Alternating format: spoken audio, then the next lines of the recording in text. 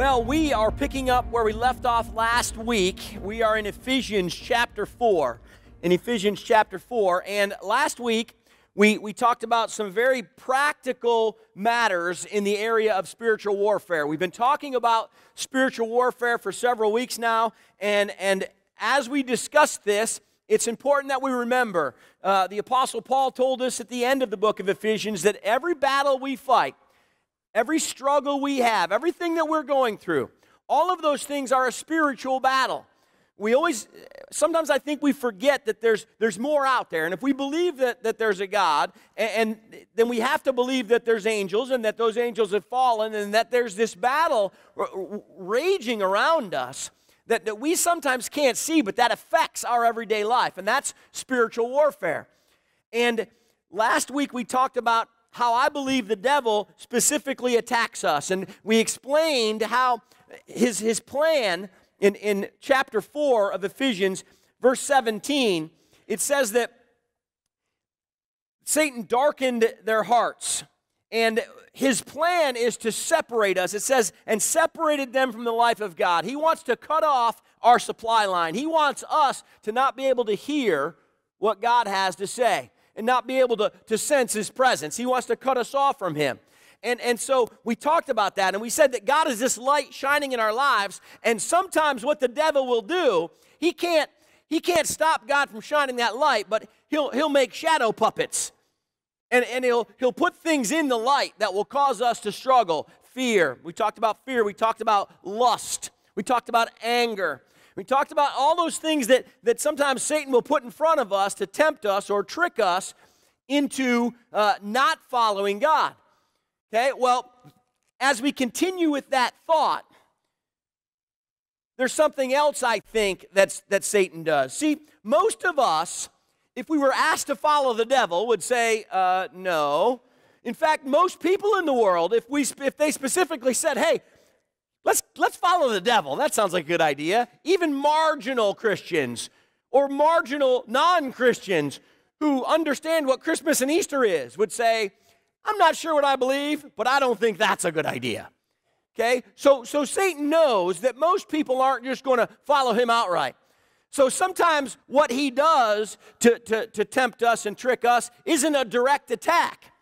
Last week we talked about direct attacks, but the rest of this chapter, chapter four, the rest of chapter four that we're going to look at today, I think is something different. I think it's instead of direct attacks, I think what Satan does eh, to use the, the same military terminology as last week, he cut off our supply line. I think he puts landmines out there.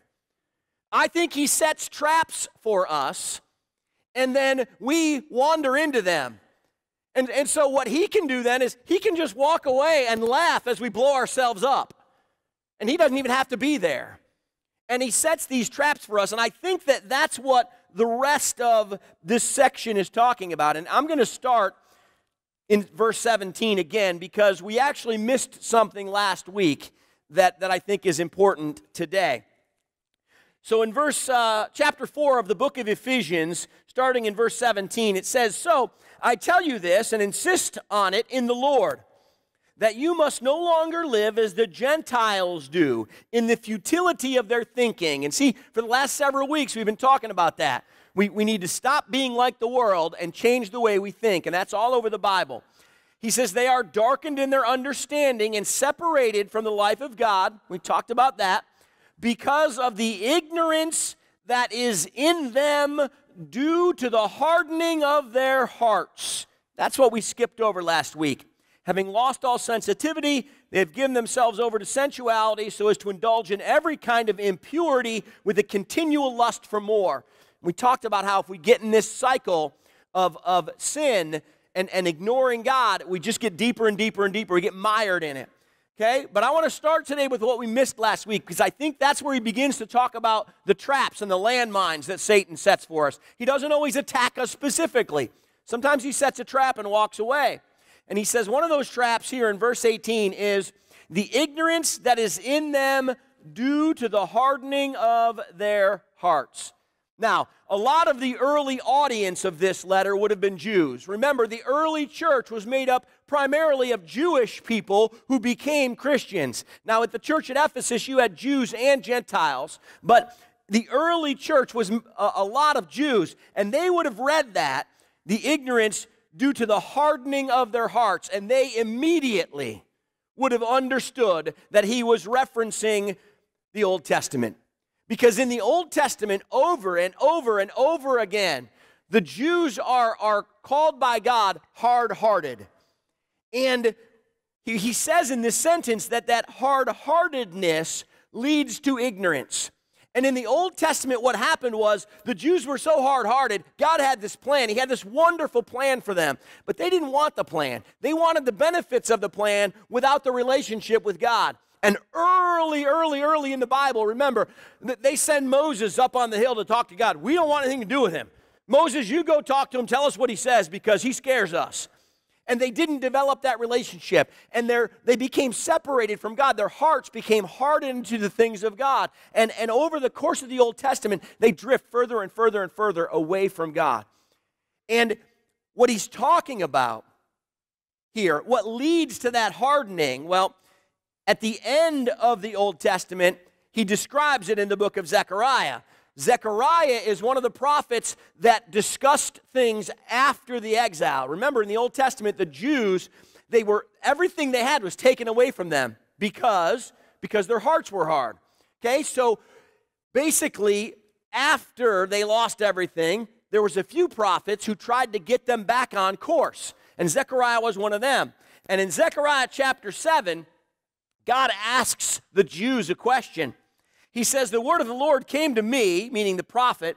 He said, Ask all the people of the land and, and the priests, when you fasted and mourned in the fifth and seventh month for the past 70 years, was it really for me that you fasted? And when you were eating and drinking, were you not just feasting for yourselves? So basically, at the end of the Old Testament, he poses the question to the Jews about hard heartedness. It says later that their hearts became hardened. And he, he poses this question about hard heartedness, and he says, What hard heartedness is, is pride. It's pride. It's you saying, I need something, I want something. I'm here, I come to get. I had an interesting conversation with a pastor the other day, and he was explaining his opinion on how we should teach and preach the gospel. And he said, a lot of people all have pro- everyone has problems. Everyone has crosses to bear. So when people come we need to explain to them what god's going to do for them. And you need to be showing them what god's done for you so that these people can know that god is real I understand that, that we should understand that God is good and God's got a plan for us and God wants to bless us. But do you know what? That's a trap of the devil. Because now you're taking God and you're turning him into Santa Claus. I want God to give me something. I'm going to tell all you all the good things God's going to do for you. You know what, folks? God's already done the one thing that matters.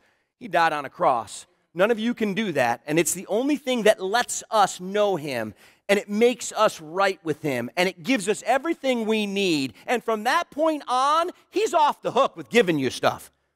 He's given you everything. He gave you His life, He gave you the cross, He gave you a trip to heaven. Okay? And what He says is, take up your cross and follow me. It's going to be hard. Okay? What He says is, you want to follow me? I didn't have a home. This might be hard. Now, will He bless you on the other end of that? Absolutely because Jesus didn't stay dead. He rose again. And if we if we will become the new creation that he called us to be, there is blessing in that. There is peace in that. There is goodness in that. And God will he will meet your needs. But you can't preach that as the reason you're here. That's what got the Jews in trouble. That's what got Eve in trouble. See, I said last week, I don't think Satan's too bright. He's powerful, but I don't think he's too smart. This is the same thing he tempted Eve with. Don't you want to know what God knows? God's just telling you that because he wants it all to himself, all the knowledge to himself. And it says when Eve saw that the apple was, was good for understanding and good for eating and good looking, she ate it. Okay? It's the original sin all over again. To the Jews, don't you want the blessing? Well, then do what God says. That's not what he said. He didn't say, do what I say. He said, I want to know you. Okay? So the same trap keeps happening again and again and again. And it says that they, their hearts were hardened and they became ignorant. It's pride over and over and over again. And if you are following God so you can get something, now, maybe that's the, the first time you show up here, your life's a mess, and somebody's got to help me fix it. So you show up and, and you're looking for something, that's okay. But if over time, as you know God more, you're still like, well, you know what, God, I do this for you, but, but I don't know. Are you sure this is going to work out? If you're still in this for you and you're not worshiping Him because of what He did for you on a cross, you don't get it. And that's a landmine that you're getting ready to step on. Because God isn't here to meet your needs, He already met your only need. And again, does He promise that He'll bless you through those to, and walk through it with you? Yes, He does. But we can't expect, we can't be here with that being the only thing we're after. And so sometimes we just have to do what we know is right, even though we might not get what we think we should. And, and when, as we move through the rest of this chapter, that's a lot of what he talks about is how do we identify those traps pride is a huge one but how do we identify these traps so let's let's look let's keep going and, and move through the rest of chapter 4 here starting in verse 20 he says you however you however did not come to know christ that way Okay? You weren't promised all these good things. They just told you who Christ was. You did not come to know Christ that way. Surely you heard of him and were taught in him in accordance with the truth that is in Jesus. Now, folks, this scripture right here applies directly to you. Because what he basically says to them is Christians, you know the truth. You know who Jesus is. You know the cross. Okay? It's a lie from the devil that you don't know enough. See, that's one of the landmines. I have to learn the whole Bible before I can teach anybody anything. It's a lie. You know you're a sinner. You know you got struggles. You know you have trouble being perfect and thinking all the right thoughts, so you know you're broken. You know that Jesus died on a cross and you know he rose again. That's all the scripture you need to change your life, to change your neighbor's life, to change your kids' life, to change the world. And he says to them, You know these truths. Okay, so, so don't let the devil trick you into thinking that you don't know enough to be an effective witness, an effective minister, because you do. Okay, so he says to them, You know the truth. And then in verse 22, he says, You were taught with regard to your former way of life to put off your old self, which is being corrupted by its deceitful desires, and to be made new in the attitude of your minds. There it is again, the mind. To be made new in the attitude of your minds, and to put on the new self, created to be like God in true righteousness and holiness. Okay, so as he moves through this section here, he says, You know the truth, and you know inherently that you need to be new. Okay, you, you understand that. Most of us, if you're sitting here in this room, you know, I need to grow, okay? And, and, and I know what Jesus did. So the only question that we have really is what's stopping us? How come we don't put that into, into, into effect? How come we know we need to be know, we, we know what Jesus did. Now, why don't we apply that to our lives? If we know those two things, why aren't we all living wonderful, perfect lives? Why doesn't everyone have perfect kids and a perfect marriage and everything's going the way it should? Interesting question, isn't it? Did you ever step back and think, well, I know this and I know this. How come things aren't going right? Well, guess what? If the devil's not actively chasing after you and shooting at you, then you're probably stepping on some of his landmines. That's the, the, the, rhetorical question that Paul is asking here. Okay? And, and the rest of this chapter, he basically says, let me help you identify some of, of these landmines, some of these things that, that Satan puts in front of us to mess us up. Okay? He says, therefore, verse 25, therefore. So he poses that rhetorical question, and now he says, therefore, each of you must put off falsehood and speak truthfully to his neighbor, for we are all members of one body. So the first thing he covers is truth. Seems pretty simple, doesn't it? Tell the truth. Okay? All lies are bad, even little lies, like fish stories. You know fish stories, right? If you hang around with guys, I caught a fish, it was this big. The next guy for sure is going to go, Well, I caught one that was this big. Pretty soon they just keep getting bigger. Okay? Uh, I have a little joke called preacher's math. You know preacher's math, right? If we have 482 people in church and somebody says, How many people are in church? You know I'm going to 500. It's always the next quarter number, you know. 502, that's 525 for sure. So yeah, it's not good. Why don't I just tell them 482? The truth is, I don't have any idea because I don't count. So, um, but I'm guessing anyway. But anything that's not true, why don't we just stick to truth in everything that we do?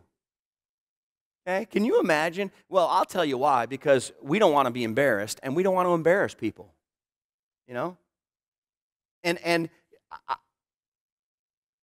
sometimes it scares me the conversations I see that aren't genuine. Bob, how are you? Doing great. If I was any better, it'd have to be two of me. That's my favorite one, right? I've said that to half of you. Okay? A lot of days that's true. One day I'm just going to drop this on you. You know what, really?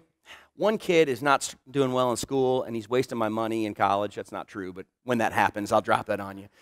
My wife's mad at me. The car's not running that good. I took out a loan I shouldn't have, and so I got all this debt. I, you know, you know what you're going to do? You're going to be like, okay, I was just asking. You know, we don't want to know. Why not? We're here to build each other up and help each other. Part of the reason we don't do that is because we're not honest with each other. Okay? It's a trap. It's a trap that sends you into, I have to take care of myself. It's a bad thing. Okay? We've got to deal in truth all the time. Okay, in John chapter 8, here's what Jesus said about the devil. You belong, he was talking to the, the Pharisees. You belong to your father, the devil, and you want to carry out your father's desire. He was a murderer from the beginning, not holding to the truth for there is no truth in him. When he lies, he speaks his native language, for he is a liar and the father of lies. Okay? Folks, here's a pretty good way to, to know you know, you're sweeping for landmines. If there's a lie involved, if there's any dishonesty, if there's any lack of truth involved in what you're about to say or do with the person you're involved in, it's a trap of the devil. Period. Because that's how Satan works. Okay, so he starts out with something seemingly innocuous and small, how we identify these traps, but it's a big deal, the truth. Okay, then he goes on to this. In your anger, do not sin. That's one of my favorite verses because it doesn't tell us not to be angry.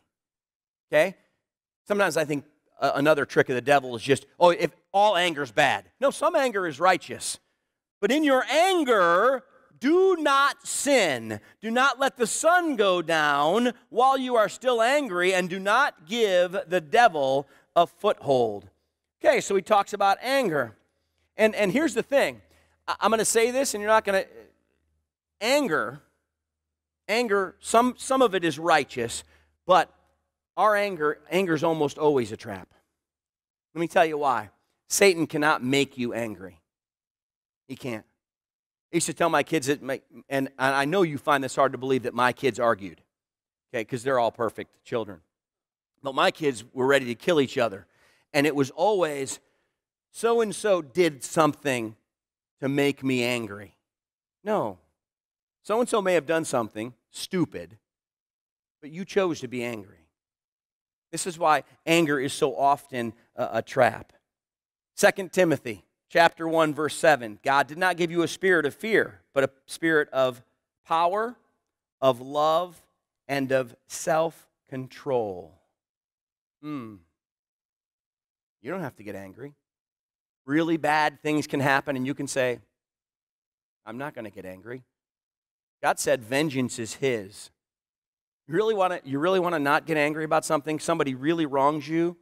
I go right to, oh, God's going to do way more to you than I could. Lightning bolts blowing up. Okay? Let him handle it. You can make that choice. Okay, so, so when you feel yourself getting angry about something and you want to wreak havoc on someone or you want to retaliate or you, that's a trap. It's a trap because God didn't give you a spirit of anger, He gave you a spirit of self control. Okay? And, and when He says, don't let the sun go down on your anger, oh boy. When you really get angry, what you're doing is saying, my needs are more important than their needs. Or my feelings or thoughts are more important than their feelings or thoughts. Or worse yet, my opinion on this subject is more important than God's opinion on this subject. Beware, because anger is often, often a trap. All right, let's keep going. He says, He who has been stealing must steal no longer. Probably not a lot of preaching needs to be done on that one. However, the next part, but he must work doing something useful with his own hands that he may have something to share with those in need. Okay, the stealing part is obvious, but he's not talking about just thievery. He's talking about the fact that people would steal instead of having an honest job. Now, this is something a lot different. He mentions work. Is not giving your all to your employer stealing?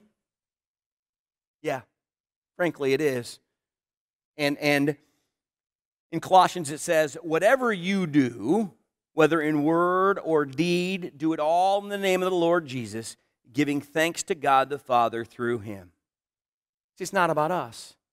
And it's not about our employer. It's about him. And this is a trap. This is one of the traps that he lays. It's the trap of, uh, I deserve to be better. I deserve better, or I deserve to be happy. I like that one. Doesn't God want me happy? Mm, I don't know. Not necessarily, not inherently.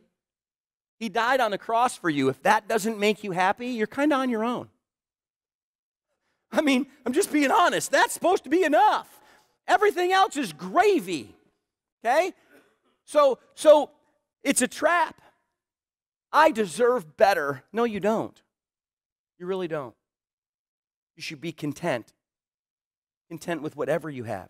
Paul said, I've learned to be content with much and I've learned to be content with little. Okay? But your boss deserves your best. You entered into a contract with him, a covenant that said, you will put forth this much effort and he will pay you this much money. When the checks start bouncing, I'd be upset. Until then, you do what you promised you'd do. Okay? But more than that, doesn't God deserve your best? Because your employer, if he's not treating you well, there's a good chance he's not a Christian. And he's watching you to decide whether he wants to be a Christian or not.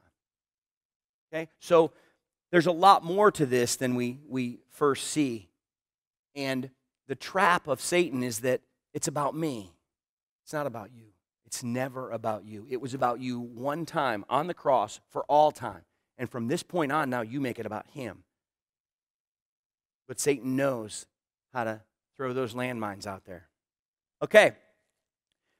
Next verse, chapter or verse 29, he says, Do not let any unwholesome talk come out of your mouths, but only what is helpful for building others up according to their needs, that it may benefit those who listen. Another good one. What comes out of your mouth? Folks, this is a trap of, of uh, I don't know what this trap is, culture, I think.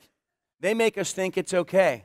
Certain words become normalized and certain attitudes become normalized. But what did we start this thing with? Don't follow the culture. Don't live like the Gentiles do in the futility of their thinking. Romans chapter 12, verses uh, 1 and 2. Don't conform any longer to the ways of this world. Okay? These are, these are common themes, but, but we get sucked into this trap of, well, everybody's doing it. Okay? when my daughters were, uh, it's not only what comes out of your mouth, but uh, in terms of culture, when my daughters were younger, we would go shopping for clothing. And, and if you have daughters, you know the, the trends a, uh, a, a few years ago were that skirts were about here. Okay? If you don't let your daughters wear that, it's hard to find clothing for them. Okay? I don't care how hard it is. Wear jeans. I don't know what to tell you. Preferably not ones with rips in them. Okay? We, we can't follow what the world does. Just because everybody's doing it, well, that's what everybody does. I don't care. Okay? And, and how we speak is the example he uses, but that's what he's talking about. And the trap is falling into, well, everybody does it. That it's got to be God's way. Okay, the last thing he says here in verse 30, we're almost done with this, but in verse 30 he says, And do not grieve the Holy Spirit of God, with whom you were sealed for the day of redemption. Okay, now this verse is difficult, and I'll tell you why. Because it says, Don't grieve the Holy Spirit. Well, grieving the Holy Spirit, basically any sin you do grieves God. God died for you, and He's living in your life. He's got this plan for you, and anything you do that's not in accordance with His will is going to make Him sad, right? So, so you could read this and think, Good Lord, I'm, I'm grieving every day. I'm, I'm never going to do anything right. I don't think that's what He's talking about here. Okay? I think he's reflecting on the personal nature of God. He says, Don't grieve the Holy Spirit. Grief is something that the Holy Spirit would have to be a person to, to, to feel. And I believe that's the most important thing here. What he wants us to see is this idea that, that God wants this relationship with you. The biggest trap that the Jews fell into was legalism. We don't have to know God. Remember where we started with pride? We don't have to know God if we if we just follow all these rules. I got rules 1 through I got the 10 commandments. If I don't break any of the commandments, I'm good. Well, in the New Testament, Jesus said, you know the commandment says don't commit adultery, but I tell you if you've ever lusted after a woman, you've committed adultery in your heart. He clearly says it's not about the Ten Commandments, it's about you being the right kind of person. Dikaiosune means the right kind of person. It's translated as righteousness in here. It's about you being righteous. And he says the way to do that is to have this relationship with God. I know what God wants me to do in any situation because I know Him. Okay? Ask yourself this you, are with your buddies, you're out somewhere, and they want to go do something, I don't know what, and you think to yourself, would my wife want me to do that? Before I take my phone out and say, hey, honey, can I go to the track with my, with my boys? Before you make the phone call, every guy in this room already knows what she's going to say. Right? Why? Because you live with her, because you have a relationship with her because you're intimate with her, because you share things with her, because this, this is the relationship that God wants to have with you. And when you do things that aren't in His will, when you do things like lie and, and speak and, and uh, get angry and steal and talk badly, you break His heart. And, and that's what He wants you to remember here that you are in a relationship with God. Okay? You and him are in this together and when you do things that are that are wrong, when you do things that are broken, when you do things that aren't in his will, it hurts his feelings. He's not up there going, "Yep, check, check, check. You got nine good things, but three bad things. So, uh, according to the scorecard, you're okay today. That's not the relationship we have with God. It's more like a father when their child does something wrong. Sometimes it's a speeding ticket, which you get irritated about, but you understand that you've done it. Sometimes it's something way more serious. And how do you feel? You're angry. You're disappointed because you expected better from them. You feel guilt because you realize they're partially acting out some of the things that you yourself maybe sowed into their life. all of those different emotions kind of mixed up in one. That's how God feels when we sin. We grieve Him. It's a different emotion than most of us think about. And if we think about God that way, I think it helps us to realize man, I've got to start doing the right things for the right reasons. But when we just think it's a checklist, that's a trap of the devil. It makes life easy to navigate, we think, until we fall into the hole that Satan dug for us. Okay, verse 31, we're, we're just about done. Verse 31, Paul says, Get rid of all bitterness, rage, anger, brawling, and slander, along with every form of malice. Be kind and compassionate to one another, forgiving one another, just as in Christ God forgave you. Basically, Paul ends this with, You know what I mean. Anything I forgot, anything I forgot, put it in there. Okay? Folks, he paints a, with a broad stroke there, and I'm going to finish with this thought. He paints with a broad stroke. He paints with such a broad stroke not because God is hard on us, not because God doesn't love us, okay, but because this is so important. This is anything that isn't in line with God. Satan will lay it there. And, and, and he'll dress it up, he'll cover it up, he'll make it look good. The only way to be able to identify every trap is to know the heart of God. And the reason he, he, he, he just kind of says, if I forgot anything, is because it's all about him. It's not about the sins, it's not about the struggles, it's not about the individual traps. It's about us knowing who God is and, and, and having that relationship with him. That's, that's what helps us identify those traps. And if we get there, the spiritual warfare, it might not get easier, no, it gets easier. Okay? Satan will attack you more, he'll lay bigger traps, but you'll see him. Okay? It gets easier. But not with practice, some with practice, but, but mainly with knowing God more. That's what we're after a deeper walk with Him. Let's pray. Lord, I just thank you. I thank you that you've given us a picture of those traps so that we can be aware. But Lord, I thank you that you've also given us a solution, a solution that, that always works, and that is to know you more, to know you personally. As we dig into your word, Lord, and we understand you, as we, as we take the cross and the resurrection and we apply them at every corner of our lives, Lord, as we think about the things of God and not the things of man, as we just soak up your grace and your goodness and your presence, Lord, we begin to see the world for what it is. And, and we begin to see the things that you've given us and you've done for us. And we begin to see the things that aren't of you, that are traps. And Father, I just pray that we would take you more seriously, Father, so that we could know you more deeply. And in doing that, Lord, we'd have much more success in this spiritual battle. We love you, we praise you, and we thank you. In Jesus' name, amen.